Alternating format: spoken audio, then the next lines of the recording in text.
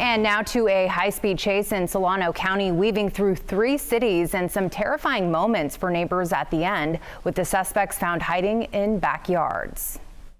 They're going to be hopping the fence into the front yard, just on the other side of the fence is a shed, and they're hiding in that shed.